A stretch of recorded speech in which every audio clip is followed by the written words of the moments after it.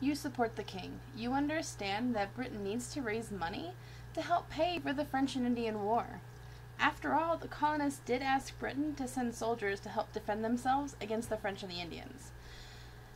Your friends, the Sons and Daughters of Liberty, are getting together often and raiding or stealing from the homes of stamp collectors.